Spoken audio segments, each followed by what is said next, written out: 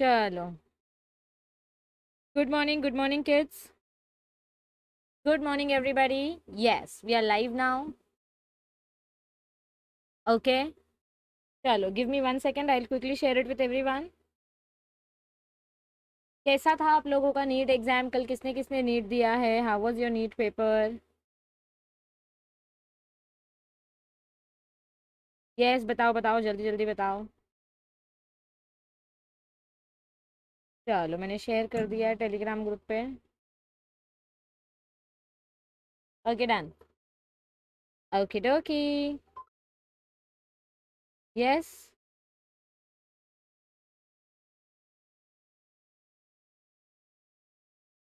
चलो, चला चला शेयर आहे. तो कैसा था आप लोगों का paper it was how it was yes okay yes normal था? यस चलो। देखो, अभी से टेंशन मत लो कि कितना मार्क्स मिला है, कितना मार्क्स नहीं मिला है। Just relax just calm down ठीक है? रिलैक्स काम डाउन अभी अभी आप अपने प्रिपरेशन के ऊपर ध्यान दो। मतलब अगर आप एम एस e के लिए प्रिपेयर कर रहे हो तो अभी बचे हुए दिन अपनी एम एस प्रिपरेशन के लिए अच्छे से यूज़ करो। आज रात को अपना आठ बजे टुडे एट एट पी आज आठ बजे अपना बायो का सेकेंड मॉक टेस्ट है, ठीक है? बायो का मॉक टेस्ट नंबर टू यानी कि हम हंड्रेड एम लेने वाले हैं और इस वीक में आपके लिए बायो का एक बहुत अच्छा सरप्राइज़ आने वाला है, ठीक है? इसी वीक में आपके लिए बायो का एक बहुत अच्छा सरप्राइज़ आने वाला है तो आप लोग अब डिसअपॉइंट मत हो जाओ, ठीक है? जिनका नीट का पेपर अच्छा गया वेल एंड गुड जिनका अच्छा नहीं गया है do not get stressed do not worry about it अब जैसा गया, वैसा गया। अब उसको हम बदल नहीं सकते but at least you can improve your performance in your M S T C E T examination M S T C E T का एडमिट कार्ड अभी नहीं आया है। जब आएगा, तब आपको इन्फॉर्म किया जाएगा, ठीक है? तब तक आपको कोई टेंशन नहीं लेना है, आपको सिर्फ़ और सिर्फ़ अपनी प्रिपरेशन के ऊपर ध्यान देना है। तो आपके लिए आज रात को आठ बजे बायो का मॉक टेस्ट लेकर आने वाली हूँ मैं यूट्यूब पे लाइव ठीक है? It will be live on YouTube okay और और आपका हंड्रेड एम का सेशन होने वाला है ठीक है? इसके अलावा बायो के लिए आपके लिए एक अमेजिंग सा सरप्राइज़ आने वाला है सर सब लोग चैनल को सब्सक्राइब करके रखो नोटिफिकेशन ऑन करके रखो। बेल आइकन पे क्लिक करोगे सब्सक्राइब बटन के बाजू में होता है ना बेल आइकन उसको क्लिक करके रखोगे तो नोटिफिकेशन ऑन रहेगा ठीक है? ओके चलो सो हम स्टार्ट करते हैं अपने टॉपिक के साथ यस सो so, अपना मोलिकुलर बेसिस ऑफ़ इनहेरिटेंस जो है ये चैप्टर वैसे तो बहुत इंटरेस्टिंग है क्योंकि बायोटेक्नोलॉजी और जेनेटिक्स के लिए बहुत बहुत बहुत ज़्यादा यूजफुल चैप्टर है ये। लेकिन एम के पॉइंट ऑफ़ व्यू से देखें तो इसमें से चार से पाँच एम पूछे जाते हैं, ठीक है? तो let's start with this chapter will will not waste any of your time और अपना चैप्टर स्टार्ट करते हैं। और कल आपका फिजिक्स का वन शॉट होगा, ठीक है? कल फिजिक्स का वन शॉट होगा सुबह ग्यारह बजे। तो फिजिक्स के लिए भी रेडी रहना ओके चलो स्टार्ट करते हैं। मैं चैट बॉक्स बंद कर रही हूँ। आपके जो भी डाउट्स होंगे, जो भी सवाल होंगे, वो लास्ट के दो मिनट में मैं बात करूँगी। अभी के लिए मैं चैट बॉक्स बंद कर रही हूँ, ठीक है? Okay all right so so, ये देखो अभी हमको मॉलिकुलर बेसिस ऑफ़ इनहेरिटेंस के बारे में इंट्रोडक्शन में क्या बताया गया है? द डिस्कवरी ऑफ़ डीएनए हमने ना ग्यारहवीं में एक चैप्टर पढ़ा था बायोमोलिक्यूल्स करके जिसमें हमने प्रोटीन्स कार्बोहाइड्रेट्स अमीनो एसिड्स और न्यूक्लिक एसिड्स मतलब प्रोटीन कार्बोहाइड्रेट लिपिड और न्यूक्लिक एसिड्स के बारे में पढ़ा था। तो वहाँ पे हमने क्या देखा था कि न्यूक्लिक एसिड मॉलिक्यूल जो है इसका मॉलिक्यूलर वेट सबसे ज़्यादा होता है। तो ये हमारा सबसे बड़ा मॉलिक्यूल है मेगा मॉलिक्यूल मैक्रो मॉलिक्यूल आप इसको बोल सकते हो। लेकिन इनिशियली ऐसा अज्यूम किया जाता था कि सेल जो है, ये सेल के अंदर न्यूक्लियस है। न्यूक्लियस के अंदर आपका ये डीएनए प्रेजेंट होता है, यानी कि न्यूक्लिक एसिड प्रेजेंट होता है। और इसके कंपैरिजन में अगर प्रोटीन देखेंगे तो प्रोटीन साइटोप्लाज्म में भी होती है प्रोटीन सेल मेम्ब्रेन में भी देखने को मिलती है, इंटीग्रल प्रोटीन, इंटरमेम्ब्रेन प्रोटीन्स तो प्रोटीन हमको हर जगह देखने को मिल रही थी, ठीक है? प्रोटीन हर जगह पे देखने को मिल रही थी, लेकिन न्यूक्लिक एसिड सिर्फ़ न्यूक्लियस के अंदर देखने को मिल रहा था तो साइंटिस्ट लोगों ने ऐसा सोचा कि जो चीज़ एक ही जगह पे प्रेजेंट है और इतना छोटा सा है, वो चीज़ कैसे हैवी हो सकता है, उस चीज़ का मोलिकुलर वेट कैसे हैवी हो सकता है या वो चीज़ कैसे माइक्रोमोलिक्यूल हो सकती है तो इनिशियली साइंटिस्ट लोगों को ये ट्रस्ट ही नहीं हो रहा था, ये बिलीव ही नहीं हो रहा था कि न्यूक्लिक एसिड हमारा माइक्रोमोलिक मैक्रोमोलिक्यूल है। कोई भी ये मानने को रेडी नहीं था। सब लोग क्या मानते थे कि प्रोटीन ही सबसे बड़ा मॉलिक्यूल है और प्रोटीन में ही हमारा जेनेटिक इन्फॉर्मेशन होगा। लेकिन इस चीज़ को कंफर्म किया तीन ग्रुप ऑफ़ साइंटिस्ट ने। लेकिन ये कंफर्म करने के लिए कुछ अप्रॉक्सीमेटली 25 टू 30 इयर्स का टाइम लग गया। सबसे पहले न्यूक्लियस के बारे में स्टडी किया था फ्रेडरिक फ्रेडरिक मिशेर ने। किसने किया था? फ्रेडरिश मिशेर इन 1869 ठीक है? तो इन्होंने क्या बताया हमको कि जो हमारे डब्ल्यूबीसी सेल्स होते हैं, जो फाइटर सेल्स होते हैं, उनके अंदर आपको एक एसिडिक कंपोनेंट देखने को मिलता है। और वो एसिडिक कंपोनेंट कौन सा था? पहले उन्होंने इसको नाम दिया न्यूक्लिन, लेकिन जब इसका पीएच टेस्ट किया तो it was acidic in nature और पता चला कि इसके अंदर फॉस्फोरिक एसिड है। तब से इसका नाम पड़ा न्यूक्लिक एसिड। क्या नाम पड़ा इसका? Nucleic acid. तो देखो इस चैप्टर में बहुत सारे साइंटिस्ट के नाम लिए गए हैं, बहुत सारे साइंटिस्ट के नाम लिए गए हैं। तो जो भी इम्पोर्टेंट साइंटिस्ट वाली वीडियो है इम्पोर्टेंट साइंटिस्ट के नेम ट्वेल्थ के जितने भी चैप्टर्स हैं वन से लेके फिफ्टीन तक और इलेवेंथ के चार चैप्टर्स टोटल नाइनटीन चैप्टर्स की जो आपकी साइंटिस्ट की लिस्ट है मैंने ऑलरेडी टेलीग्राम ग्रुप पे पीडीएफ दे दिया है अजय सर ने और मैंने वीडियो भी बनाई है। तो आप इसकी वीडियो देख के खुद साइंटिस्ट के नाम लिख कर उसको डेली बेसिस पे प्रैक्टिस करना स्टार्ट कर दो, अगर अभी तक नहीं किया है तो। और अगर कर दिया है तो वेल एंड गुड क्योंकि उसमें से आठ से दस क्वेश्चन तो पूछे ही जाते हैं। हंड्रेड परसेंट पूछे जाते हैं, ठीक है? चलो सो फ्रेडरिक मिशेर ने हमको न्यूक्लिक एसिड डिस्कवर करके दिया। लेकिन अब हमारा जेनेटिक मटेरियल प्रोटीन है कि डीएनए है? ये कन्फ्यूज़न था। और इसको कन्फर्म करने के लिए अप्रॉक्सीमेटली हमको 25 इयर्स लगे कि हमारा जेनेटिक मटेरियल प्रोटीन है कि डीएनए इसको हमने कन्फर्म कैसे किया? सबसे पहले एक्सपेरिमेंट किया फ्रेडरिक ग्रिफिथ ने, जो एक ब्रिटिश के मेडिकल ऑफिसर थे। ये एक स्ट्रेप्टोकोकस निमोनिया बैक्टीरिया के ऊपर स्टडी कर रहे थे। तो इन्होंने क्या किया? इन्होंने स्ट्रेप्टोकोकस निमोनिया की। आपके एनसीईआरटी की बुक में या कुछ दूसरे रेफरेंस बुक में इधर पे डिप्लोकोकस भी दिया रहता है। तो दोनों का सेम वेरिएंट है, ठीक है? कंफ्यूज नहीं होना है।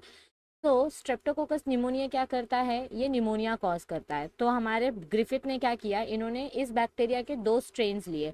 स्ट्रेन मतलब क्या होता है? दो वेराइटी ली एक आर स्ट्रेन ली और एक एस स्ट्रेन लिया। आर स्ट्रेन रफ होता है, इसके बाहर कोई कैप्सूल नहीं होती है, इसका स्ट्रक्चर रफ होता है, जिसके वजह से डब्ल्यूबीसी इसको आसानी से पहचान लेते हैं और इसको खा जाते हैं। तो जिसके वजह से निमोनिया नहीं होता है हमको, क्योंकि डब्ल्यूबीसी ने क्या किया, इस निमोनिया के बैक्टीरिया को मार दिया। लेकिन जो एस स्ट्रेन होता है एस स्ट्रेन के बाहर ऐसी एक स्मूथ लेयर प्रेजेंट होती है, जिसके वजह से डब्ल्यूबीसी इसको नहीं खा सकते और ये बैक्टीरिया जो है, ये निमोनिया फैला देता है, जिसकी वजह से हमारी डेथ हो जाती है। तो ऐसे दो स्ट्रेन थे, एक एस स्ट्रेन एक आर स्ट्रेन तो फ्रेडरिक ग्रिफिथ ने क्या किया? उन्होंने माइस लिया, ठीक है? माइस एक लैब एनिमल है, माउस एक लैब एनिमल है। तो उन्होंने पहले माउस में, हेल्दी माउस में आर स्ट्रेन यानी कि रफ स्ट्रेन वाला बैक्टीरिया डाला, निमोनिया का। तो उन्होंने क्या देखा कि ये जो रफ स्ट्रेन है, ये रफ स्ट्रेन को डब्ल्यूबीसी आसानी से ख़त्म कर सकता है। तो जिसके वजह से आपका बैक्टीरिया मर जाएगा और हमको निमोनिया नहीं होगा। अगर निमोनिया नहीं होगा तो हम ज़िंदा रहेंगे। So this was R strain का एक्सपेरिमेंट एस स्ट्रेन में क्या हुआ? एस स्ट्रेन के बाहर ये जो एल पी एस लाइपोपोलीसेक्राइड की मेम्ब्रेन है, ये याद रखो, ये एम सी क्वेश्चन में पूछा जाता है। एस स्ट्रेन के बाहर ये जो लाइपोपोलीसेक्राइड की मेम्ब्रेन है, जब हम इस बैक्टीरिया को माइस में इंजेक्ट कर रहे हैं तो हमारा डब्ल्यूबीसी हमारा जो डब्ल्यूबीसी है वो इस बैक्टीरिया को खा नहीं पा रहा है जिसके वजह से ये बैक्टीरिया हमारी बॉडी में निमोनिया फैलाता है और माइस की डेथ हो जाती है। अब थर्ड एक्सपेरिमेंट में हमने क्या किया? इस दुष्ट प्राणी को मतलब ये जो एस ट्रेन है इसको हमने हीट कर दिया। हीट करके इसको किल कर दिया ठीक है? तो इसके बाहर का ले, स्मूथ लेयर जो था वो गायब हो गया। ये फिर से अब आपके रफ स्ट्रेन जैसा हो गया। तो इसको फिर से डब्ल्यू ने पकड़ा और मार दिया। डब्ल्यूबीसी ने पकड़ा और मार दिया, जिसके वजह से निमोनिया नहीं हुआ और जिसकी वजह से माउस ज़िंदा था। अब ये फोर्थ एक्सपेरिमेंट में क्या होता है? फोर्थ एक्सपेरिमेंट में क्या होता है?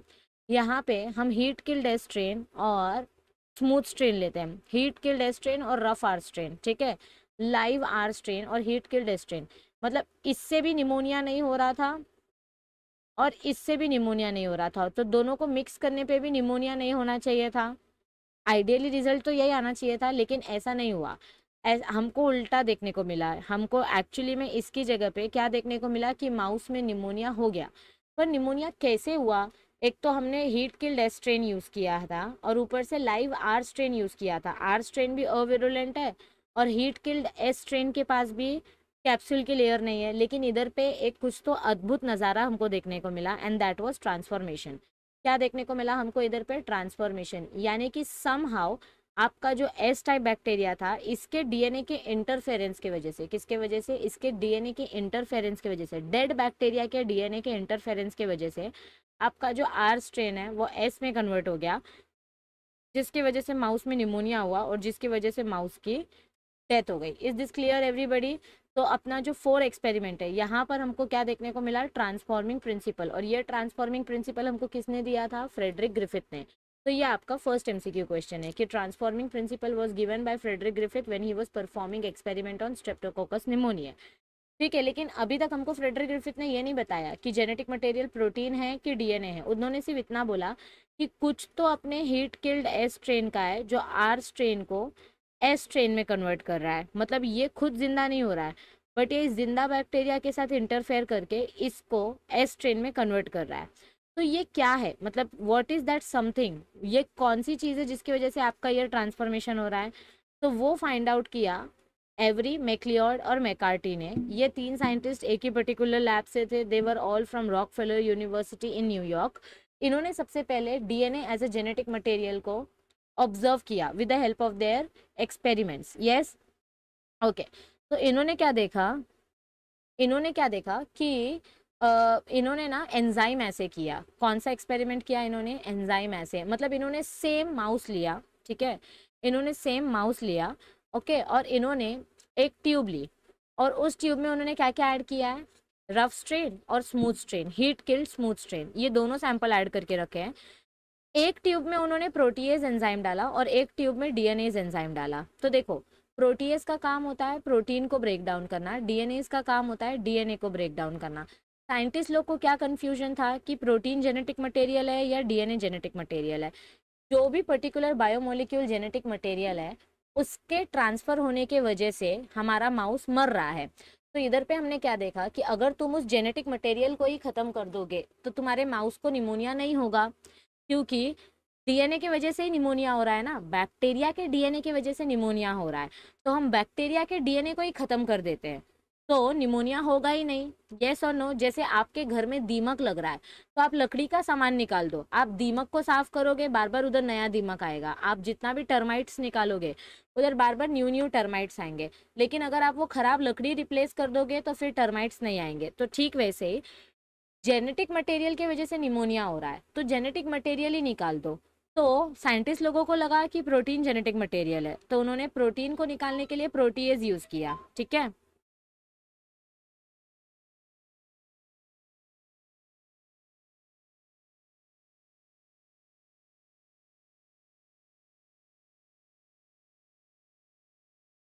ओके okay, उन्होंने क्या किया? प्रोटीन रिमूव करने के लिए उन्होंने प्रोटीएज एंजाइम यूज़ किया, लेकिन उनको क्या देखने को मिला कि चलो, प्रोटीएज ने क्या किया होगा? प्रोटीएज ने प्रोटीन को ब्रेक डाउन कर दिया होगा तो जेनेटिक मटेरियल ख़त्म हो गया तो अब निमोनिया नहीं होना चाहिए था, लेकिन उल्टा हो गया। इधर पे तो निमोनिया हुआ और माउस मर गया, निमोनिया हुआ और माउस मर गया। तो सेकेंड एक्सपेरिमेंट में हमने क्या देखा कि इस बार साइंटिस्ट लोगों ने डीएनए एंजाइम यूज़ किया था। डीएनए एंजाइम की वजह से डीएनए जेनेटिक मटेरियल हमने डिस्ट्रॉय कर दिया। अब साइंटिस्ट लोगों को क्या पता था कि डीएनए जेनेटिक मटेरियल है कि प्रोटीन वो तो प्रोटीन को ही पकड़ के बैठे थे। बट एक्चुअली में डीएनए अपना जेनेटिक मटेरियल निकला। क्योंकि डीएनए को जब हमने ख़त्म कर दिया तो इधर पे निमोनिया नहीं हुआ। यानी कि माउस के डीएनए को क्या किया हमने? माउस के डीएनए को हमने डिस्ट्रॉय सॉरी, माउस के डीएनए को नहीं, बैक्टीरिया के डीएनए को हमने डिस्ट्रॉय कर दिया तो माउस में निमोनिया नहीं हुआ। इधर पे बैक्टीरिया का डीएनए ज़िंदा है, देखो, इधर बैक्टीरिया का डीएनए ज़िंदा है, जिसकी वजह से निमोनिया हो रहा है। इधर बैक्टीरिया का डीएनए मर गया, जिसकी वजह से निमोनिया नहीं हो रहा है। So this was your Avery McCarty MacLeod का experiment is this clear everybody चलो नेक्स्ट जाते हैं। लेकिन अभी भी बहुत सारे साइंटिस्ट लोग कन्फ्यूज़ थे, अभी भी बहुत सारे अभी भी बहुत सारे साइंटिस्ट क्या थे? कंफ्यूज थे। कि आखिर जेनेटिक मटेरियल है क्या? प्रोटीन कैसे जेनेटिक मटेरियल हो सकता है? जेनेटिक मटेरियल तो अपना nucleic acid sorry, nucleic acid कैसे जेनेटिक मटेरियल होना चाहिए, हो सकता है? जेनेटिक मटेरियल तो प्रोटीन है, ऐसा ऐसा ऐसा बहुत सारा कन्फ्यूज़न था साइंटिस्ट लोगों को तो किसी ने भी इनकी बात नहीं मानी। तो फिर नेक्स्ट दो साइंटिस्ट आए Alfred Hershey and Martha Chase अब इस बार एल्फ्रेड हर्शी और मार्था चेस ने क्या किया? उन्होंने पंचायत पाली ने। उन्होंने सीधा सीधा बैक्टेरियो फाज लिया। उन्होंने क्या किया? सीधा सीधा बैक्टेरियो फाज लिया, ठीक है? और बैक्टेरियो फाज कैसे लिया उन्होंने? बैक्टेरियो फाज मतलब क्या होता है? ऐसा वायरस ऐसा वायरस जो बैक्टीरिया के ऊपर अटैक करे। देखो, ये अपना बैक्टीरिया है और ये अपना वायरस है। तो ऐसा वायरस जो बैक्टीरिया पे अटैक करे। तो हमारे अल्फ्रेड हर्शी और मार्था चेस ने क्या किया? इन्होंने बैक्टीरियोफाज लिया इस बार। और सबसे इंपॉर्टेंट चीज़ बैक्टीरियोफाज के बारे में क्या होती है कि बैक्टीरियोफाज का जो बाहर का लेयर होता है, ये प्रोटीन से बनता है और अंदर का जो जेनेटिक मटेरियल होता है, वो न्यूक्लिक एसिड होता है, ठीक है? प्रोटीन के पास क्या होता है? सल्फ़र और न्यूक्लिक एसिड में क्या प्रेजेंट होता है? फॉस्फोरस, क्योंकि डीएनए के पास फॉस्फोरिक एसिड है है ना? न्यूक्लियोटाइड के स्ट्रक्चर में हमने पढ़ा है हाँ। तो अब इधर देखो हमको क्या देखने को मिल रहा है? हमने क्या किया? मतलब अल्फ्रेड हर्शी और माथा चेस ने क्या किया? उन्होंने रेडियो एक्टिव सल्फ़र लिया और रेडियो एक्टिव फॉस्फोरस लिया। रेडियो एक्टिव सल्फ़र की वजह से एक बैक्टीरियोफाज का बाहर का स्ट्रक्चर पूरा चमक रहा है, पर अंदर का स्ट्रक्चर में कुछ चेंजेस नहीं हुए और रेडियो एक्टिव फॉस्फोरस की वजह से अंदर का स्ट्रक्चर चमक चमक रहा है, बाहर के स्ट्रक्चर में कुछ चेंजेस नहीं हुए तो अब हमको ये जो चमक है, ये चमक फॉलो करनी है। ये जो रेडियो एक्टिविटी है ना, ये रेडियो एक्टिविटी हमको देखना है। तो ये रेडियो एक्टिविटी को देख के हम क्या डिसाइड करेंगे कि एक्चुअली में वायरस से बैक्टीरिया में क्या ट्रांसफ़र हुआ? प्रोटीन वाला पार्ट ट्रांसफ़र हुआ या जेनेटिक मटेरियल वाला पार्ट ट्रांसफ़र हुआ? ये हम डिसाइड करेंगे और ये हमको रेडियो एक्टिविटी देख के समझ में आएगी।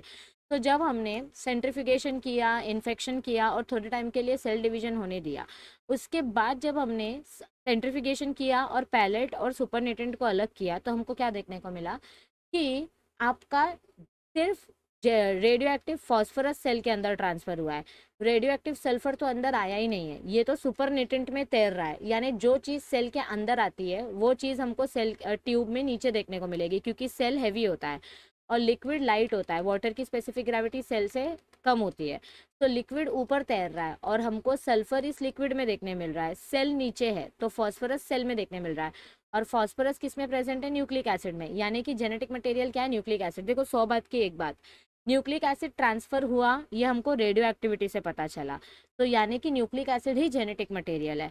अगर सल्फ़र हमको देखने को मिलता तो हम बोलते सल्फ़र जेनेटिक मटेरियल है। बट हमको फॉस्फोरस देखने को मिला तो phosphorus is the genetic material यानी कि आपका डीएनए ही आपका जेनेटिक मटेरियल है। ठीक है? ओके अब आगे देखो क्या बताया गया है। चलो, इस क्वेश्चन का आंसर तो सब लोग फटाक से द एक्सपेरिमेंट किसके एक्सपेरिमेंट की वजह से हमको फाइनल प्रूफ मिला DNA is the genetic material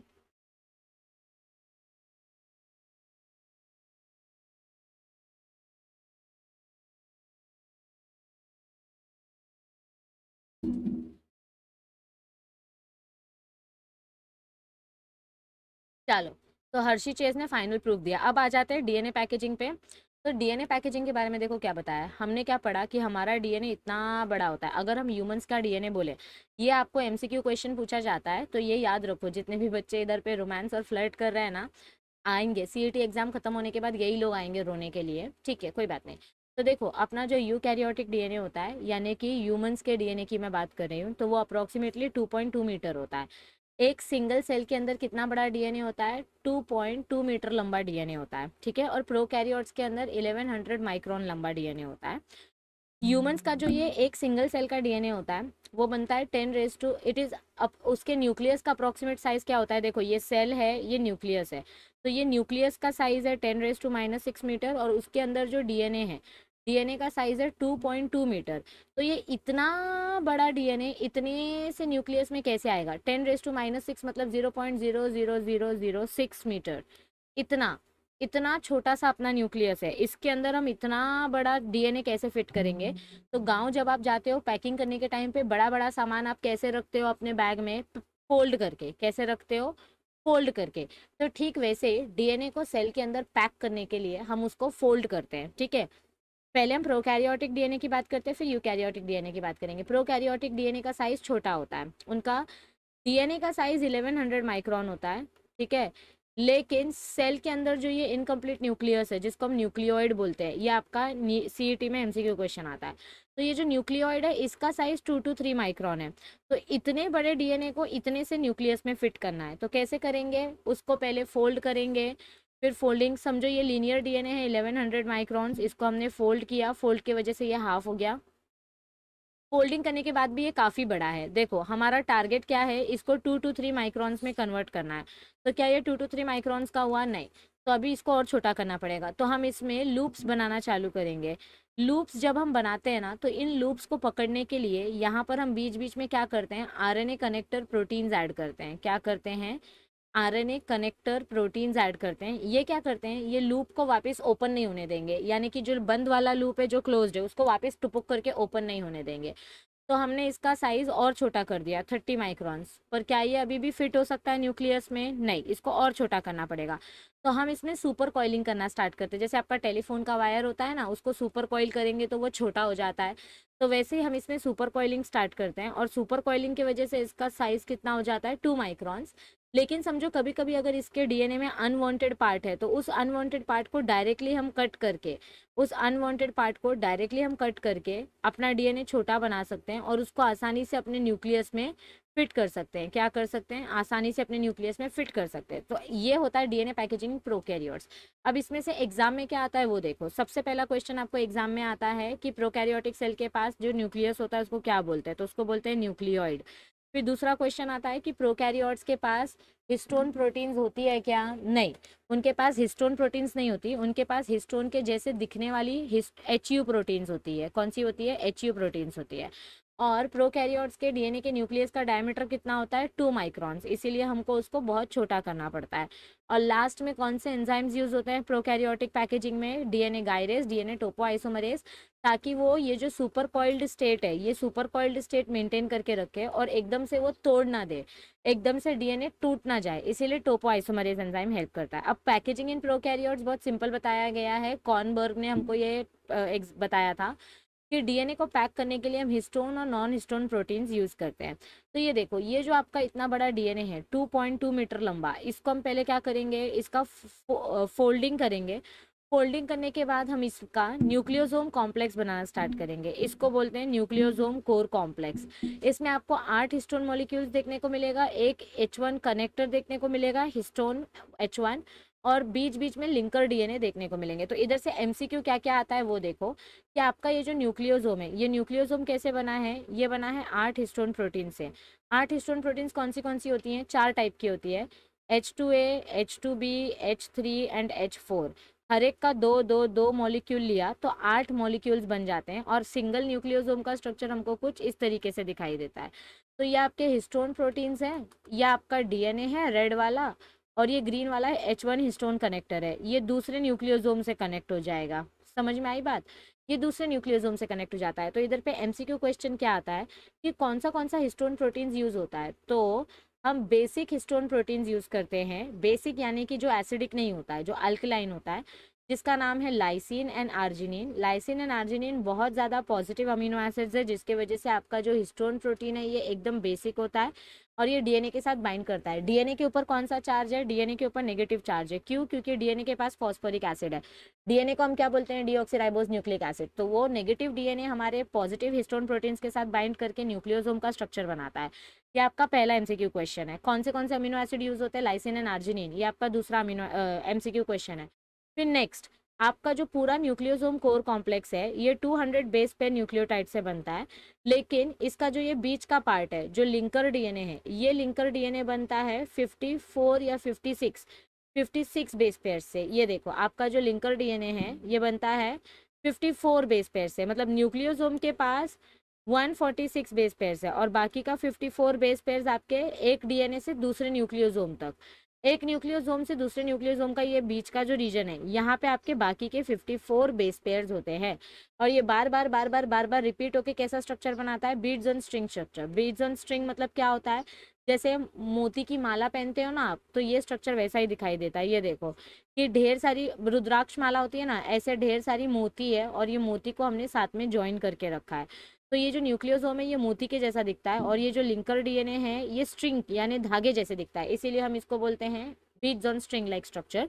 अब इसमें का एक क्वेश्चन आया था अभी आपके लास्ट मॉक टेस्ट में जो हमने सॉल्व किया था कि आपका ये जो सोलेनॉइड जैसा स्ट्रक्चर बनता है बीड्स ऑन स्ट्रिंग कर कर, करके कर, करके ऐसा जो स्ट्रक्चर बनता है, इसका डायमीटर कितना होता है? तो इसका डायमीटर होता है थर्टी नैनोमीटर्स या एंगस्टॉम में पूछा तो थ्री हंड्रेड एंगस्टॉम और उसको और कंडेंस करके हम फिर क्रोमोजोम बनाते हैं। तो ये है हमारे यूकैरियोटिक डीएनए का पैकेजिंग प्रोकैरियोट्स और यूकैरियोट्स में डिफरेंस क्या है? प्रोकैरियोट्स के पास हिस्टोन प्रोटीन नहीं है यूकैरियोट्स के पास लाइसिन और आर्जिनिन हिस्टोन प्रोटीन्स है।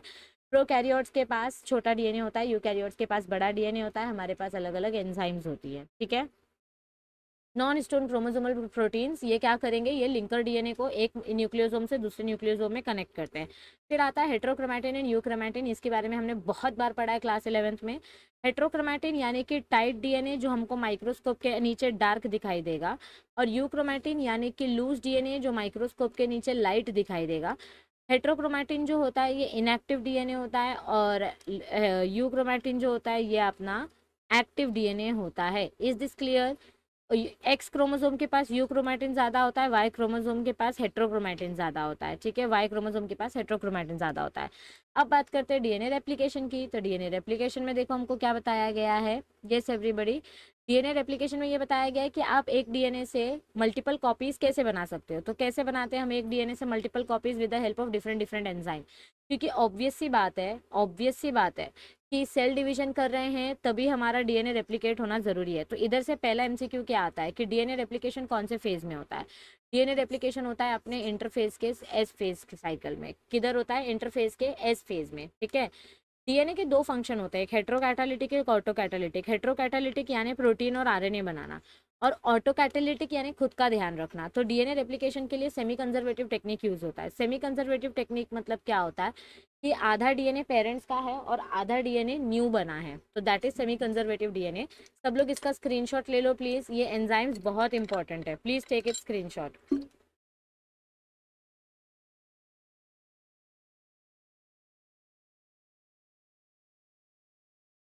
done perfect okay तो देखो इधर पे डीएनए रेप्लिकेशन करने के लिए हम कौन से कौन से एंजाइम्स यूज़ करते हैं? पहला एंजाइम है फॉस्फोराइलेस फॉस्फोराइलेस क्या करेगा? रेप डीएनए रेप्लिकेट करने के लिए मतलब नया डीएनए बनाने के लिए हमको न्यूक्लियोटाइड सीक्वेंसेस लगेंगे। क्या लगेंगे हमको? न्यूक्लियोटाइड सीक्वेंसेस लगेंगे। ठीक है?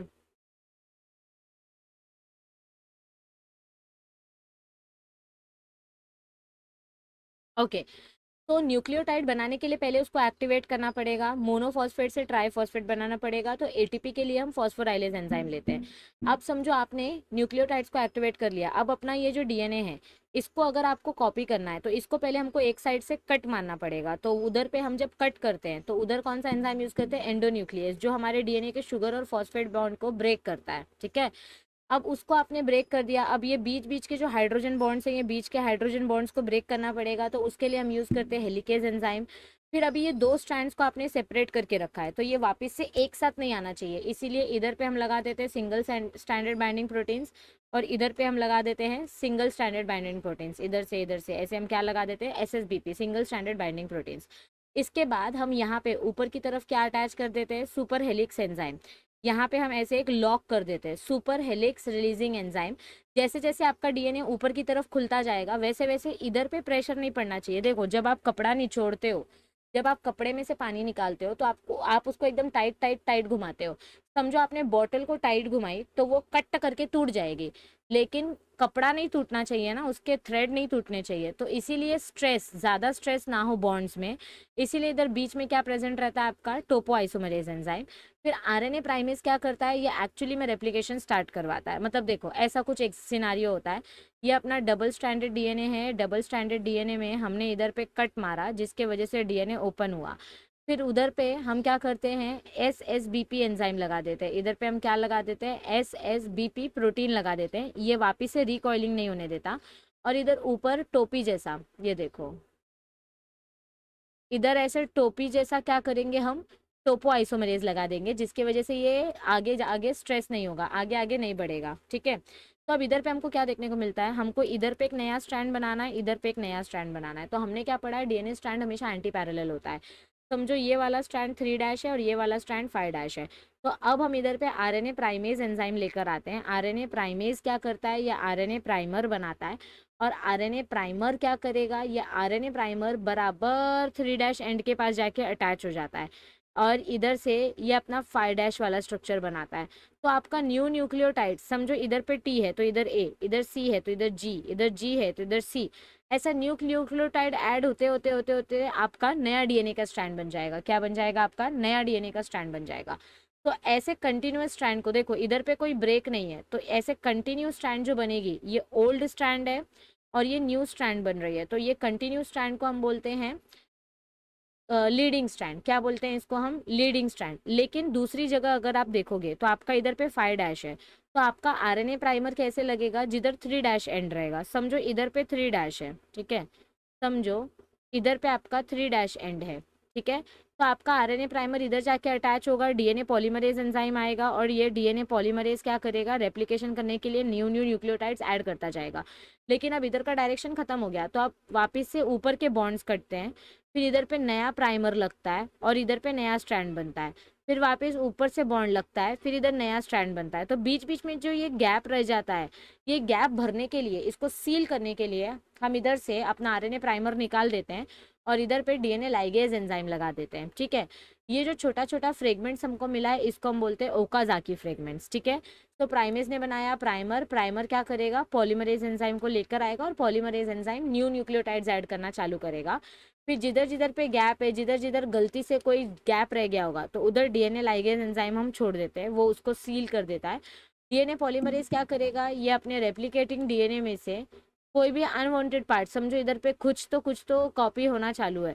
तो ये अपना डीएनए पॉलीमरेज टू क्या करता है? ये सबके ऊपर नज़र रखता है। ये बहुत ही स्ट्रिक्ट सुपरवाइजर है। ये बिल्कुल कॉपी नहीं होने देता। तो ये हमारे डीएनए को फर्दर कॉम्प्लिकेशन से रोकता है। ठीक है? डीएनए पॉलीमरेज वन प्राइमर को निकालता है और न्यू डीएनटीपी ऐड करता है और डीएनए पॉलीमरेज टू ये खुद क्या करेगा? रिपेयर फ़ंक्शन यानी कि अगर डीएनए बीच में से डैमेज हो गया तो उसको ये रिपेयर करेगा। और लास्ट में आता है डीएनए गायरेज जैसे डीएनए हेलिकेज की मदद से हमने उसका हेलिकल स्ट्रक्चर ओपन कर दिया था। वैसे डीएनए गायरेज की मदद से हम फिर से उसका हेलिकल स्ट्रक्चर लेके आ जाते हैं। So this is about our DNA gyrase. Yes तो इस तरीके से अपना डीएनए रेप्लिकेशन होता है। अब लास्ट में आता है अपना सेमी कंजर्वेटिव रेप्लिकेशन तो ये एक्सपेरिमेंट किया था मीसल्सन एंड स्टाल ने ई कोलाई बैक्टीरिया पे। ये बहुत इंपॉर्टेंट है। ये एक्सपेरिमेंट मीसल्सन एंड स्टाल ने किया था। आ, कौन से उसमें? सेमी कंजर्वेटिव मेथड की मदद से ई कोलाई बैक्टीरिया में। और ये क्वेश्चन आपको सी में एमसीक्यू में पूछा जाता है। ठीक है? सो so, इसमें क्या किया उन्होंने? उन्होंने ई कोलाई का बैक्टीरिया लिया क्योंकि वो 20 मिनट्स में रिप्रोड्यूस होता है। फिर इन्होंने सीसियम क्लोराइड यानी ग्लूकोज और सुक्रोज सोल्यूशन वाला इन्होंने बॉडी में केमिकल डाला। तो जिसकी वजह से इनको क्या देखने को मिला कि बैक्टीरिया की बॉडी जो है वो हाइब्रिड डीएनए बना रही है। बैक्टीरिया की बॉडी क्या बना रही है? हाइब्रिड डीएनए बना रही है। तो जिसके वजह से आपको एक स्ट्रैंड पुराना देखने को मिल रहा है। ये देखो ये रेड वाला पुराना है और ये ऑरेंज वाला स्ट्रैंड पुराना है क्या? नो no, ये न्यू स्ट्रैंड बन रहा है तो इसको बोलते हैं formation of daughter DNA molecules with the help of with the help of what ये सेल्फ रेप्लिकेटिंग ठीक है? डीएनए खुद रेप्लिकेट कर रहा है खुद अपना सेमी कंजर्वेशन फॉलो कर रहा है। ओके okay, तो टेक्निक साइंटिस्ट का नाम याद रखो क्या पूछते हैं? Matthewson Meselson and Franklin Stahl कौन सा टेक्निक यूज़ किया equilibrium density gradient centrifugation technique okay all right आगे बढ़ो क्या आया गया है? यस yes, अब हम आते हैं नेक्स्ट टॉपिक पे that is our protein synthesis देखो प्रोटीन बनाने के लिए क्या चाहिए? डीएनए चाहिए क्योंकि डीएनए के पास जेनेटिक इन्फॉर्मेशन होती है। तो डीएनए से हम प्रोटीन बना सकते हैं लेकिन प्रोटीन बनाने से पहले हमको अलग अलग टाइप के आरएनए चाहिए M R N A R R N A T R N A तो आरएनए बनाने वाले प्रोसेस को बोलते हैं ट्रांसक्रिप्शन और प्रोटीन बनाने वाले प्रोसेस को बोलते हैं ट्रांसलेशन ओके सो यहाँ पे हमको क्या देखने को मिलता है कि आपका जो डीएनए से आरएनए बना है और आरएनए से प्रोटीन बना है ये प्रोटीन जेनेटिकली सेम है कि नहीं है? मतलब इनका जो डीएनए है, वो जीन्स है, वो सेम है कि नहीं है? वो हमको इधर पे देखना होता है, ठीक है? तो देखो, आपका प्रोटीन सिंथेसिस कैसे हो रहा है? हमारे पास, हमारा जो डीएनए है, उसका हम सेंट्रल डॉगमा करेंगे। सेंट्रल डॉगमा हमको किसने दिया था? ये इंपॉर्टेंट है आपके एमसीक्यू के लिए। एफ़ एच सी क्रिक ने 1958 में। तो सेंट्रल डॉगमा में हमको क्या देखने को मिलता है? डीएनए से एमआरएनए बना ट्रांसक्रिप्शन और फिर एमआरएनए से प्रोटीन बना ट्रांसलेशन डायरेक्ट नहीं बनता प्रोटीन इसको बोलते हैं इनडायरेक्ट फ़ंक्शन ऑफ़ डीएनए यानी डीएनए से प्रोटीन बनाना, ठीक है? और टेमिन और बाल्टीमोर करके दो साइंटिस्ट थे। इन्होंने 1970 में एक नया कॉन्सेप्ट लाया रिवर्स ट्रांसक्रिप्शन मतलब ट्रांसक्रिप्शन क्या होता है? सीधा सीधा रास्ता फॉलो करना। और रिवर्स ट्रांसक्रिप्शन क्या होता है? रिवर्स ट्रांसक्रिप्शन में आप एंजाइम यूज़ करते हो, जिसकी मदद से आपका ट्रांसक्रिप्शन प्रोसेस स्टॉप हो जाता है, और ये आपके वायरस का ट्रांसक्रिप्शन करना स्टार्ट कर देता है। क्योंकि मोस्टली ये जो रिवर्स ट्रांसक्रिप्टेज एंजाइम होते हैं ये आपका जो दसवा चैप्टर है एचआईवी उसमें ये एंजाइम होते हैं। किसमें ये एंजाइम होते हैं? एचआईवी में किसमें। होते हैं बोलो? एचआईवी में। तो जिसके वजह से आपको क्या देखने को मिल रहा है? रिवर्स ट्रांसक्रिप्शन देखने मिल रहा है। और ये किसने दिया था? टेमिन एंड बाल्टीमोर ने ठीक है? ओके okay, देखो अभी उसके बाद हमको क्या बताया गया है? ट्रांसक्रिप्शन यूनिट के बारे में बताया गया है। व्हाट इज़ ट्रांसक्रिप्शन यूनिट मतलब जिस पार्ट में ट्रांसक्रिप्शन हो रहा है। जहाँ पर आपका प्रोटीन बनेगा जहाँ M R N M R N A बनेगा उसको बोलेंगे ट्रांसक्रिप्शन यूनिट तो ट्रांसक्रिप्शन यूनिट में हमको क्या देखने को मिलता है?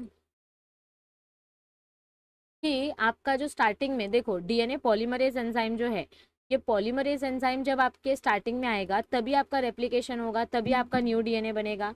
तो प्रमोटर रीजन जिधर पे डीएनए पॉलीमरेज आता है, उस रीजन को हम क्या बोलते हैं? प्रमोटर रीजन और जिधर पे आपका ये ट्रांसक्रिप्शन स्टॉप हो जाता है, उस रीजन को बोलते हैं टर्मिनेटर रीजन ठीक है? और बीच का जो पार्ट है, इसको बोलेंगे स्ट्रक्चरल जीन या स्ट्रक्चरल ट्रांसक्रिप्शन यूनिट तो यहाँ पे ये आपका सेंस कोडॉन है कोडिंग कोडॉन और टेम्पलेट स्टैंड क्या है आपका? एंटी सेंस कोडॉन है, यानी कि नॉन कोडिंग कोडॉन ये कोई कोड नहीं करेगा. ये क्या करेगा? सिर्फ़ ये हमको सीक्वेंसेस देगा और इसको देखकर हम दूसरा सीक्वेंस बनाएँगे. मतलब ये खुद कुछ काम नहीं करेगा, पर इसको देखकर हम इसका कॉम्प्लीमेंट्री सीक्वेंसेस बनाएँगे. So that is about transcription unit इधर पे रिक्वायरमेंट क्या क्या होती है वो देखो। ट्रांसक्रिप्शन यूनिट के लिए आपको प्रमोटर होना चाहिए टर्मिनेटर होना चाहिए स्ट्रक्चरल जीन होना चाहिए कोडिंग जीन होना चाहिए टेम्पलेट जीन होना चाहिए और फिर उसके बाद आपके पास एंजाइम्स भी होने चाहिए जो स्ट्रक्चर फिनिश होने के बाद उसको कट कर सके। ठीक है? उसके बाद नेक्स्ट क्या आता है? ये पैराग्राफ ना बहुत इंपॉर्टेंट है। ये पैराग्राफ बच्चों बहुत बहुत बहुत इंपॉर्टेंट है। Okay R N A polymerase one का काम क्या है? आर आर एन ए बनाना। पॉलीमरेज टू का काम है एम आर एन ए और पॉलीमरेज थ्री का काम क्या है? T R N A polymerase three का काम क्या है? T R N A yes everybody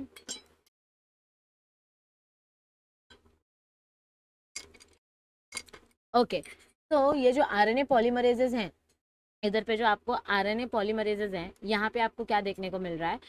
कि आपको टी आर एन ए कौन दे रहा है? So R N A polymerase three gives you T R N A अब देखो ट्रांसक्रिप्शन यूनिट जो है कभी कभी हमारे पास क्या हो जाता है कि ट्रांसक्रिप्शन यूनिट में कभी कभी क्या देखने को मिलता है? बहुत सारे सिस्ट्रॉन्स होते हैं। सिस्ट्रॉन्स मतलब क्या होता है? जिधर से प्रोटीन बनेगा। जिधर से क्या बनेगा? प्रोटीन यानी स्ट्रक्चरल रीजन तो अगर एक ही डीएनए में ऐसे बहुत सारे सिस्ट्रॉन हमको देखने को मिले तो इसको हम बोलते हैं पॉलीसिस्ट्रॉनिक डीएनए क्या बोलते हैं इसको? पॉलीसिस्ट्रॉनिक डीएनए अगर सिर्फ़ एक ही सिस्ट्रॉन है तो एक ही प्रोटीन मिलेगा। तो उसको बोलेंगे मोनोसिस्ट्रॉन। लेकिन अगर दो दो बहुत सारे सिस्ट्रॉन्स है तो उससे बहुत सारा प्रोटीन मिलेगा, इसको बोलेंगे पॉलीसिस्ट्रॉन। पर ये प्रोटीन बनाना इतना आसान नहीं है। ये देखो, ये आपका डीएनए है। जब आप इस डीएनए से एमआरएनए बनाते हो तो आपको प्योर एमआरएनए नहीं मिलता। जब आप खेत में किसानी करते हो और फ़ार्मिंग करते हो तो फ़ार्मिंग करने के टाइम पे जब आप चावल, गेहूँ निकालते हो तो क्या वो चावल, गेहूँ एकदम रेडी होता है अभी के अभी खाने के लिए? नहीं। उसको पहले हमको हार्वेस्ट करना पड़ता है, फिर उसको हमको क्लीन करना पड़ता है। तो वैसे ही हमारा ये जो एमआरएनए निकला है, ये क्लीन नहीं होता है। इसको हमको पहले क्लीन करना पड़ता है। मतलब हार्वेस्ट करने से पहले इस इसमें से जो नॉन कोडिंग सीक्वेंसेज है, वो हमको रिमूव करने पड़ते हैं। देखो कोडिंग सीक्वेंसेस क्या होते हैं जो प्रोटीन के लिए कोड करेंगे? नॉन कोडिंग सीक्वेंसेस क्या होते हैं जिनका कुछ काम नहीं होता है? तो इधर पे आपको एक इंपॉर्टेंट एमसीक्यू पूछा जाता है कि कोडिंग सीक्वेंस कौन सा है नॉन कोडिंग सीक्वेंस कौन सा है? तो कोडिंग सीक्वेंस कौन सा है आपका? इंट्रॉन और नॉन कोडिंग सीक्वेंस कौन सा है अपना? एक्सॉन तो इसको रिमूव करने से पहले हम क्या ऐड करते हैं? हम फाइव डैश एंड पे methionine guanosine five three phosphate ऐसा हम ऐड करते हैं। ये एमसीक्यू क्वेश्चन बता रही हूँ हाँ मैं। देखो कोडिंग रीजन्स को क्या बोलते हैं? वो याद रखो। फिर कोडिंग को रिमूव कर रहे हैं। नॉन कोडिंग रीजन को रिमूव कर रहे हैं। तो हमने हेड में क्या लगाया? फाइव मिथियो सॉरी मिथियोनिन ग्वानसिन ट्राईफॉस्फेट और हमने टेल वाले रीजन में क्या लगा है? थ्री डैश एंड में पॉलीएडिनाइलेशन पॉलीएडिनाइल ग्रुप साइड किया। फिर हम इसका स्प्लाइसिंग करेंगे और नॉन कोडिंग वाला पार्ट रिमूव कर देंगे। और एक बार नॉन कोडिंग वाला पार्ट रिमूव हो गया तो हमारा एमआरएनए क्या हो जाता है? रेडी हो जाता है। जब तक एमआरएनए रेडी नहीं है, तब तक हम इसको क्या बोलेंगे? एच एन तब तक हम इस आरएनए को क्या बोलते हैं? एच एन आर यानी heterogeneous nuclear R N A is this point clear to every okay all right right, चलो तो देखो मैसेंजर आरएनए किधर प्रोड्यूस हो रहा है? एमआरएनए न्यूक्लियस में। कोई भी आरएनए हो वो न्यूक्लियस में ही प्रोड्यूस होता है ठीक है? फिर नेक्स्ट अपना आता है जेनेटिक कोड तो इसका स्क्रीनशॉट ले लो सब लोग फटाक से। यस जल्दी जल्दी ले लो। फास्ट इसका स्क्रीनशॉट ले लो।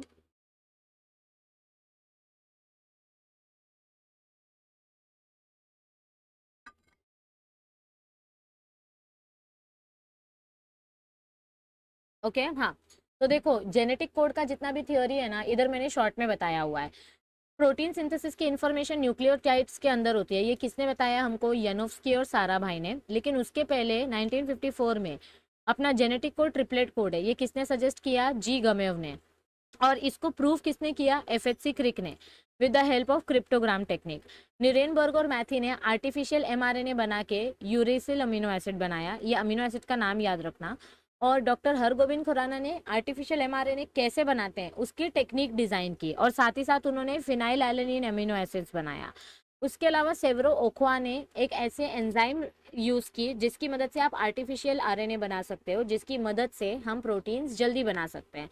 और फाइनली सेवरे ओखवाओ और निरेनबर्ग और मैथी, इन तीनों साइंटिस्ट को मिलके नोबेल प्राइज मिला। हर गोविंद खुराना को अलग से मिला और इन तीनों साइंटिस्ट को अलग से मिला।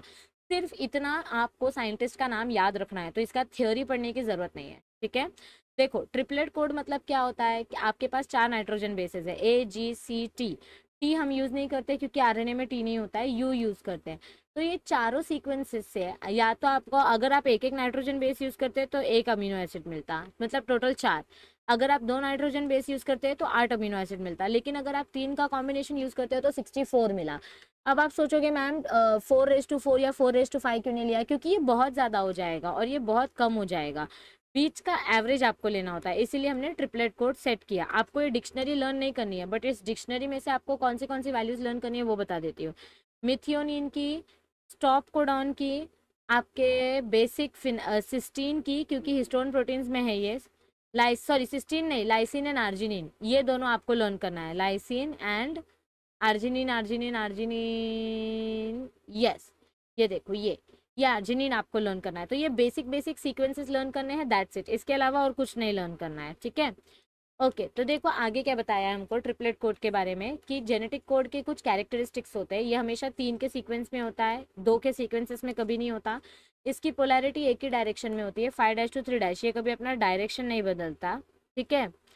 And it is non overlapping मतलब एक कोड दूसरे कोड के ऊपर नहीं आता, दोनों हमेशा बाजू बाजू में रहते हैं एडजस्टेंट होते हैं, इनके बीच में कोई पंक्चुएशन मार्क नहीं है फुल स्टॉप कॉमा डैश कुछ नहीं है।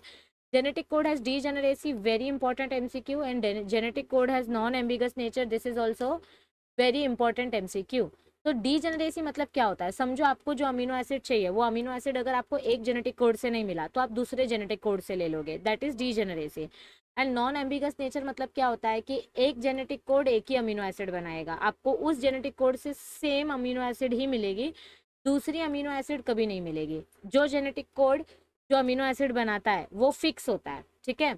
ओके फिर initiation codon and termination codon यानी start codon and stop codon start codon के फॉर्मूला क्या है? ए यू जी और स्टॉप कोडॉन के लिए ये तीन.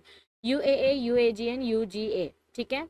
ओके okay, लास्ट में आता है कोडॉन एंड एंटी कोडॉन तो हमारा जो ट्रांसक्रिप्शन प्रोसेस होता है जिधर पे हम आरएनए और प्रोटीन बनाते हैं ट्रांसलेशन में तो उधर पे टी आरएनए की मदद लेते हैं. और टी आरएनए के पास क्या होता है? एंटी कोडॉन रीजन होता है जो कोडॉन के साथ बाइंड करके क्या बनाता है? प्रोटीन बनाता है. यानी कि क्या करेगा ये? आपके एमआरएनए से इन्फॉर्मेशन लेके आरआरएनए के पास लेके जाएगा और नया प्रोटीन बनाएगा ओके हाँ। चलो, इसका आंसर बताओ फटाक से।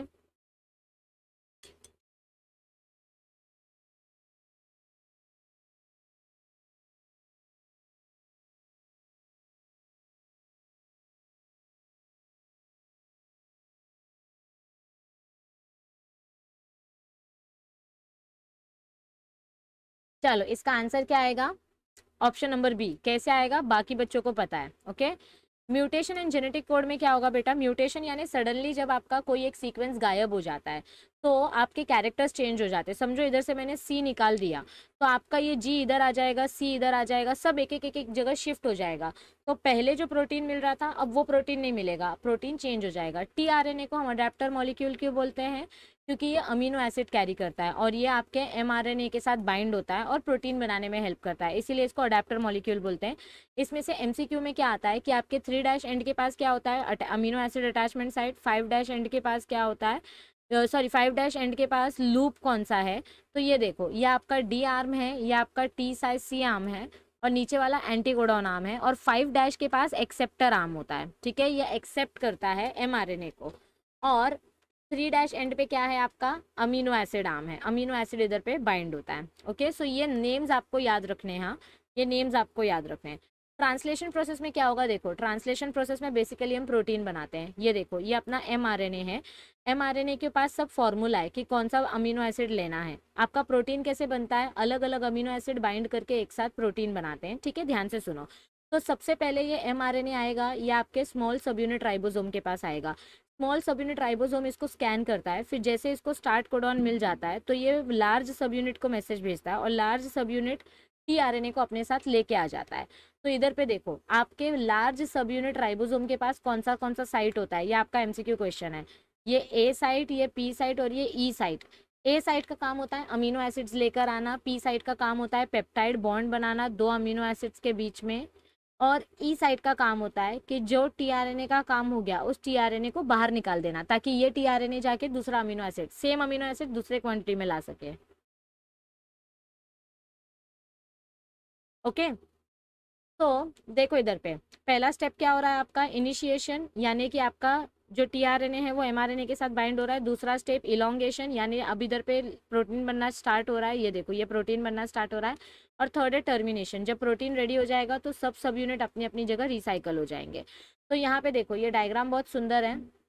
यस एमआरएनए आया स्मॉल राइबोसोम सब यूनिट के पास बैठा, उसने स्टार्ट कोडॉन ढूंढा और फिर टीआरएनए को मैसेज दिया तो टीआरएनए आया और अमीनो एसिड लेकर आया और लार्ज सब यूनिट आके इसको ज्वाइन कर देता है। लार्ज सब यूनिट और स्मॉल सब यूनिट के बीच में इधर मैग्नीशियम आयंस रहते हैं, जो इन दोनों सब यूनिट को एक साथ बंद रखते हैं ताकि अंदर एंजाइम एक्शन ना हो और आपका प्रोटीन डैमेज ना हो। फिर उसके बाद अब अंदर ही अंदर नया नया टीआरएनए आते जाएगा, ये देखो, नेक्स्ट अमीनो एसिड। जैसे जैसे नया टीआरएनए आएगा तो नया टीआरएनए पेप्टाइड बॉन्ड बनाएगा, उसके वजह से नया प्रोटीन का चेन बनता जाएगा और जो टीआरएनए है वो रिसाइकल होते जाएगा। और ऐसे देखते ही देखते देखते ही देखते हमको हमारा प्रोटीन चेन मिल जाएगा। और फाइनली जब स्टॉप कोडॉन आएगा तो इधर पे आपका पाई फैक्टर या रिलीज़ फैक्टर प्रेजेंट होता है। ये रिलीज़ फैक्टर क्या करेगा? इस प्रोटीन को बाहर रिलीज़ कर देगा, यानी प्रोटीन को छोड़ देगा। और आपका स्मॉल सब यूनिट लार्ज सब यूनिट सब रिसाइकल हो जाएगा। सिर्फ़ आपका एमआरएनए जो है, ये एमआरएनए डिग्रेड हो जाता है ताकि सेम प्रोटीन वापस ना बने, बाकी सब रिसाइकल हो जाता है। तो this is our translation takes place initiation elongation and termination yes everybody okay और जब आपका ये ए साइट होता है, देखो फ़र्स्ट टीआरएनए ये मैं एमसीक्यू क्वेश्चन बता रही हूँ। फ़र्स्ट टीआरएनए हमेशा किधर आता है? पी साइट पे आता है। उसके अलावा जितने भी टी आर एन ए हैं, वो पहले ए साइड पे आएँगे, फिर पी साइड पे जाएँगे, फिर ई साइड पे जाएँगे। So this is your translation यानी कि प्रोटीन फॉर्मेशन स्टेप बताओ पॉलीपेप्टाइड किधर पे बन रही है? पॉलीपेप्टाइड कौन से स्ट्रक्चर के ऊपर बैठ के बनती है? Yes yes?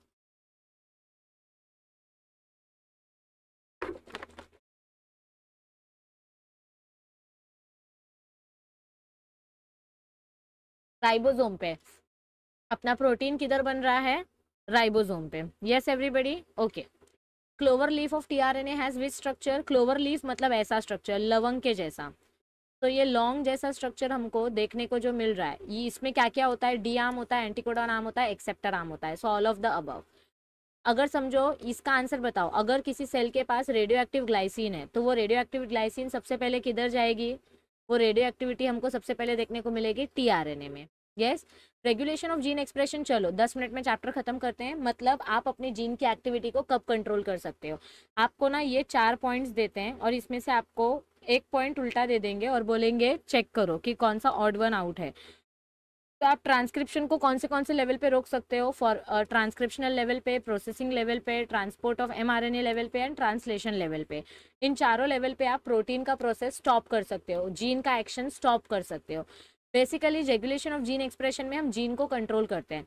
और यहाँ यहाँ हमको क्या देखने को मिलता है? दो टाइप के जीन्स देखने को मिलते हैं. एक इंड्यूसिबल जीन और एक कॉन्स्टिट्यूटिव जीन कॉन्स्टिट्यूटिव जीन मतलब क्या होता है? जो पहले से अपनी बॉडी में प्रेजेंट है. और इंड्यूसिबल जीन जो पहले से अपनी बॉडी में प्रेजेंट नहीं है।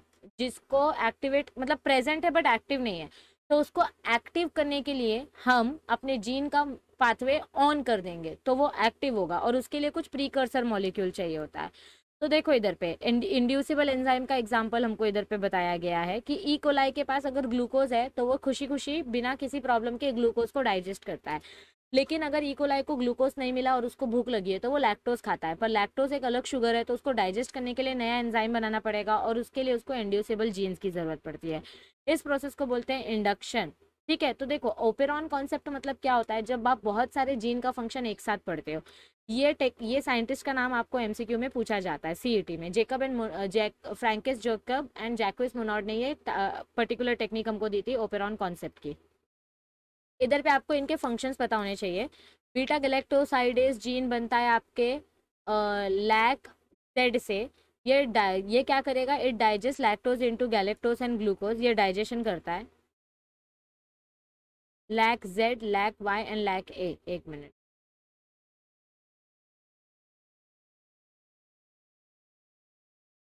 बीटा गैलेक्टोसिडेस का फ़ंक्शन किधर दिया है? हाँ ये देखो।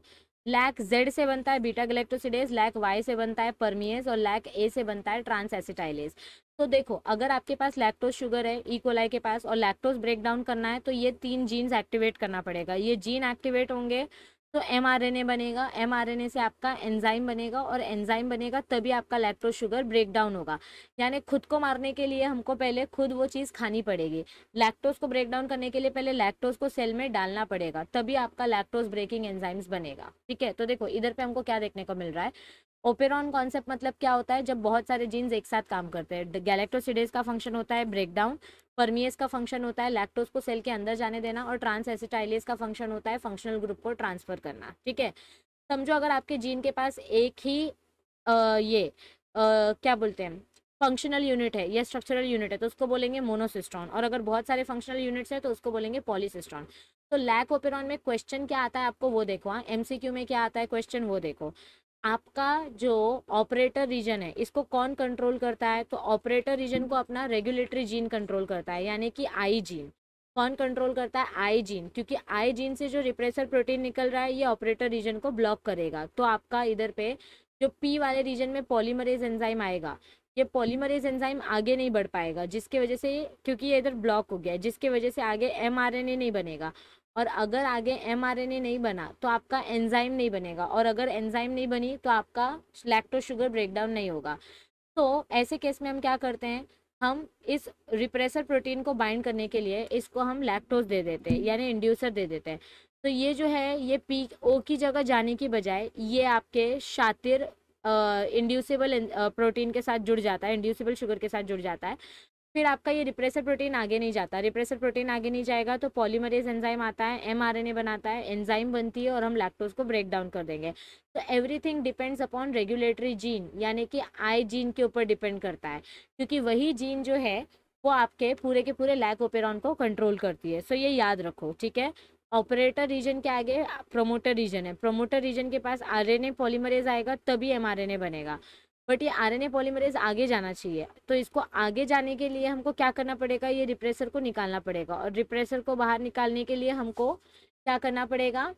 यस, पहले रिप्रेसर प्रोटीन के साथ किसी इंड्यूसिबल मॉलिक्यूल को ऐड करना पड़ेगा। तो इसको बोलते हैं switch on and switch off करना, ठीक है? तो यहाँ पे आप अलग अलग प्रोटीन के फ़ंक्शंस पढ़ सकते हो। लैक्टोज का फ़ंक्शन होता है सेल को एनर्जी देना, ठीक है? तो functioning of structural genes is controlled by which region? Structural genes यानी कि Z Y A Z Y A इसको कौन कंट्रोल करता है? रेगुलेटरी जीन कंट्रोल करता है। कौन कंट्रोल करता है? रेगुलेटरी जीन क्योंकि अगर रेगुलेटरी जीन का रिप्रेसर आके ऑपरेटर रीजन पे ब्लॉक हो गया तो आपका जो पॉलीमरेज है, ये आगे नहीं बढ़ेगा, जिसकी वजह से आपका Z Y A genes inactivated रह जाएगा। So regulatory gene sorry regulatory gene controls our structural genes ठीक है? Z Y A operator region नहीं आएगा बेटा रेगुलेटरी जीन आएगा, ठीक है? ओके नेक्स्ट जीनोमिक्स के बारे में हमको देखो क्या बताया गया है। जीनोमिक्स मतलब क्या होता है? स्टडी ऑफ़ जीनोम ये टर्म हमको किसने दिया था? Introduced by H Winkler in 1920 और इन्होंने हमको बताया था कि पूरे ऑर्गेनिज्म के डीएनए को या जेनेटिक इन्फॉर्मेशन को जब हम स्टडी करते हैं तो उसको बोलते हैं जीनोम और जीनोम की स्टडी को बोलते हैं जीनोमिक्स ये टर्म दिया था टी एच रॉड्रिक्स ने। जीनोमिक्स हम क्यों करते हैं? ऑर्गेनिज्म का स्ट्रक्चर समझने के लिए और उसका फ़ंक्शन समझने के लिए। डीएनए का पूरा स्ट्रक्चर और पूरा फ़ंक्शन समझने के लिए। इसीलिए स्ट्रक्चरल जीनोमिक्स और फंक्शनल जीनोमिक्स की जाती है, ठीक है? जीनोमिक्स के अलग अलग एप्लीकेशन है। इसको आप एग्रीकल्चर में यूज़ कर सकते हो, इसको आप फॉरेंसिक साइंस में यूज़ कर सकते हो, इसको आप मेडिकल इंडस्ट्रीज़ में यूज़ कर सकते हो।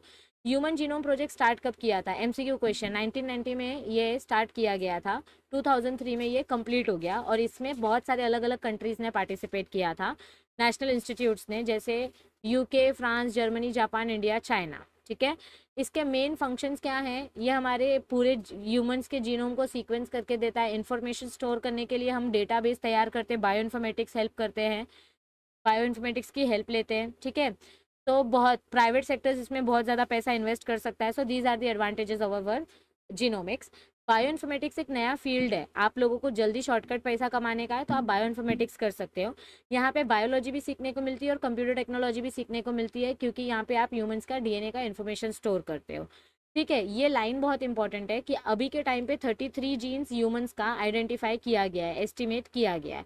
इसके अलावा अलग अलग ऑर्गेनिज्म का जीनोम नंबर फाइंड आउट किया है। आपको मैंने ये टेबल बहुत बार लर्न करने के लिए बोला है। फिर से एक बार बोल रही हूँ कि आपको हर एक ऑर्गेनिज्म का क्रोमोसोम नंबर उसका एस्टिमेटेड जीन और एस्टिमेटेड बेस पेयर साइज़ पता होना चाहिए। अगर सब नंबर याद नहीं हो रहा है तो ह्यूमंस का याद करो माउस का याद करो फ्रूट फ्लाई का याद करो और बैक्टीरिया का याद करो। ये ज़्यादातर आता है। आने के लिए ये तीन भी आ सकता है बट बाकी के भी आ सकते हैं। So this is very important okay DNA fingerprinting की अगर हम बात करें तो डीएनए फिंगरप्रिंटिंग क्या होता है? देखो, आप अपने हाथ से जो फिंगरप्रिंट का छापा लेते हो, उसको डीएनए फिंगरप्रिंट नहीं बोलते हैं। हमारा जो डीएनए सैंपल होता है ना, ये डीएनए सैंपल के अंदर आपका हर एक इंडिविजुअल का 99.9 परसेंट डीएनए सेम होता है, सिर्फ़ 0.1 परसेंट डीएनए अलग होता है। तो ये 0.1 परसेंट डीएनए जो है, ये सात आठ न्यूक्लियोटाइड से ही बनता है, सात आठ सीक्वेंसेस से ही बनता है। इस सीक्वेंस को हम बोलते हैं VNTR variable number tandem repeat तो हम क्या करते हैं? हम अपना डीएनए सैंपल कलेक्ट करते हैं। हम क्या करते हैं इधर पे? हम अपना डीएनए सैंपल कलेक्ट करते हैं, ठीक है? और उसको हम कट करते हैं रेस्ट्रिक्शन एंजाइम की मदद से। ये पूरा एमसीक्यू टाइप है यहाँ क्वेश्चन रेस्ट्रिक्शन एंजाइम की मदद से हम इसको फ्रेगमेंट्स में कट करते हैं और फिर इस फ्रेगमेंट्स का हम इलेक्ट्रोफोरेसिस करते हैं। इलेक्ट्रोफोरेसिस में हम क्या करेंगे? डीएनए के बैंड्स को सेपरेट करेंगे। तो इसमें जो सबसे छोटा सेगमेंट होगा, वो होगा आपका वी क्योंकि वी बनता है सिर्फ़ सात आठ सीक्वेंसेस से। तो जो सबसे छोटा सेगमेंट होगा, वो होगा वी तो आगे, सबसे आगे की तरफ़ जो आपको लाइट बैंड देखने को मिलेगा, ये आपका यूनिक सीक्वेंस रहेगा डीएनए का। तो इसमें हम क्या करते हैं, देखो अगारोस जेल इलेक्ट्रोफोरेसिस करके स्ट्रैंड्स को सेपरेट करते हैं, फिर नाइलॉन मेम्ब्रेन यूज़ करते हैं। आपको पूछा जाता है यहाँ कि इलेक्ट्रोफोरेसिस करने के लिए कौन सा टेक्निक यूज़ होता है? सदन ब्लॉटिंग ये आपका एमसीक्यू क्वेश्चन है, देखो। ये एक एमसीक्यू क्वेश्चन है। रेस्ट्रिक्शन एंजाइम हमने यूज़ किया, फिर इलेक्ट्रोफोरेसिस किया सदन ब्लॉटिंग टेक्निक की मदद से। फिर उसको नायलॉन मेम्ब्रेन के ऊपर ट्रांसफ़र किया। क्या किया? नाइलॉन मेम्ब्रेन के ऊपर ट्रांसफ़र किया। नायलॉन मेम्ब्रेन के ऊपर हमने ट्रांसफ़र किया। फिर नाइलॉन मेम्ब्रेन पर ट्रांसफ़र करके हम ये जो फ्रेगमेंट्स है, इसको सिंगल स्ट्रैंडेड डीएनए प्रोब्स के साथ, single stranded radioactive DNA probes के साथ हाइब्रिडाइज करते हैं, ताकि आपका ये जो पेपर है, इसके ऊपर जो सिंगल स्ट्रैंड है, इसके ऊपर रेडियो एक्टिव डीएनए अपना पेयरिंग बना सके। और फिर जब हम इसका एक्सरे निकालेंगे तो सिर्फ़ ये जो रेडियो एक्टिव वाला बैंड है, ये रेडियो एक्टिव वाला बैंड चमकेगा, जिससे हमको पता चलेगा कि हमारे डीएनए का सीक्वेंस क्या है। और ये किधर यूज़ करते हैं हम? फोरेंसिक साइंस में देखो एग्ज़ाम एमसीक्यू में क्या क्या पूछा जा सकता है? ये एमसीक्यू क्वेश्चन है, ये एमसीक्यू क्वेश्चन है, ये एमसीक्यू क्वेश्चन है। ये एमसीक्यू क्वेश्चन है नाइलॉन वाला ये एमसीक्यू क्वेश्चन है, ठीक है? और आपके एमसीक्यू सीईटी में, ये एमसीक्यू क्वेश्चन में यही सब पूछा जा सकता है। तो फिंगर प्रिंटिंग हम किधर यूज़ करते हैं? पेरेंट्स फाइंड आउट करने के लिए क्रिमिनल केस सॉल्व करने के लिए। जैसे समझो कि इस लड़की का मर्डर हुआ है और उधर पे जो हमको वेपन मिला है, उस वेपन में मर्डरर का भी ब्लड चिपका हुआ है। लड़की का डीएनए फिंगर प्रिंटिंग किया, लड़के का मर्डरर का डीएनए फिंगर प्रिंटिंग किया और इन तीन लोगों पे हमको शक है। तो मुझे बताओ, कौन सा सस्पेक्ट है जिसने मर्डर किया है? यस एवरीबडी चलो चलो चलो चलो, जल्दी बताओ चैप्टर ओवर कौन सा मर्डरर है? कौन सा विक्टिम है जिसने मर्डर कल्प्रिट है जिसने मर्डर किया है?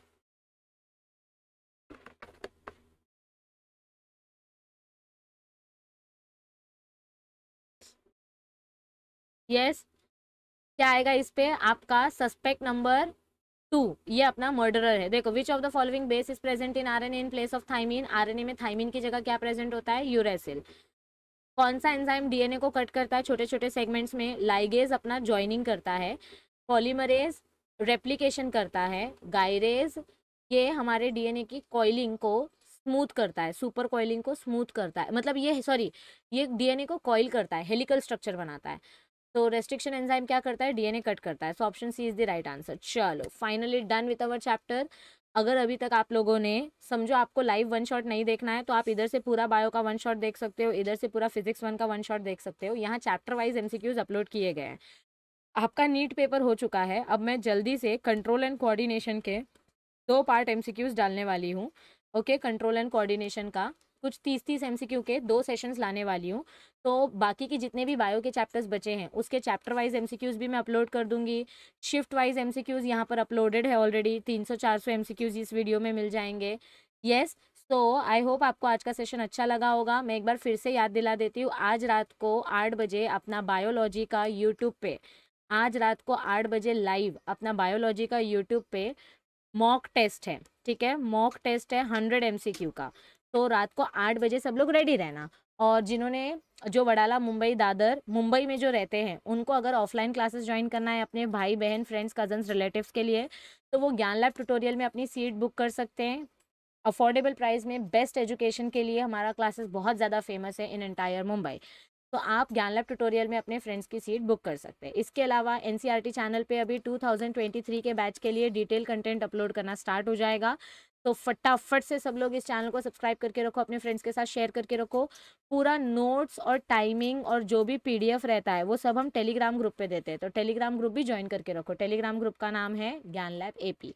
Yes everybody you can also become a member of our life buffering channel चलो, ये वीडियो अच्छी लगे तो इसको लाइक कर देना, अपने फ्रेंड्स के साथ शेयर ज़रूर करना।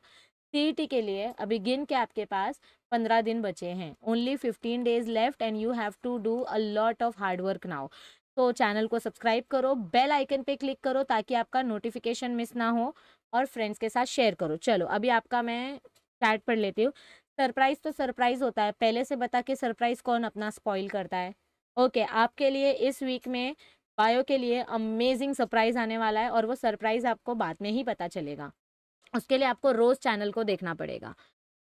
और और कौन है M S T C T K? ठीक है, लक्ष्मी सरप्राइज़ बाद में ही पता चलेगा। और कौन है? मोस्ट वेलकम एवरीबडी और किसी का कोई क्वेश्चन है? शाम को आठ बजे सब लोग आ जाना। शाम को आठ बजे सब लोग आ जाना। ठीक है? उमेश पटेल, जय श्री कृष्णा। और कोई है? चलो most welcome Aryan Sayyed ecosystem वाले पे भी एमसीक्यूज आएँगे। तब तक आप पिछले साल के एमसीक्यूज देख के सॉल्व कर सकते हो। रोने से अच्छा है कि पढ़ाई करो चैनल पे देखो कंटेंट दिया है। वन शॉट खत्म हो जाएगा। बायो का इसी वीक में खत्म हो जाएगा। केमिस्ट्री केमिस्ट्रीसाठी मला नाही माहिती YouTube channel you can refer many teachers are there mind map भी कर सकते हो सी के लिए। यस यस यस लक्ष्मी, क्या लेट हो जाएगा? आपको पता ही नहीं है सरप्राइज़ क्या है तो फिर क्या ही लेट हो जाएगा? पढ़ाई चालू रखो, पढ़ाई से रिलेटेड ही सरप्राइज़ होगा। कुछ हम लोग कपड़ा लत्ता बुक्स नहीं भेजने वाले, जो तुम्हारा टाइम वेस्ट हो जाएगा। चुपचाप पढ़ाई चालू रखो। ठीक है, चलो, मिलते हैं रात को आठ बजे। See you all today at eight PM bye bye bye everybody सब लोग पढ़ के आना। Hundred M C Qs solve करेंगे। Hundred hundred hundred hundred hundred M C Qs okay bye bye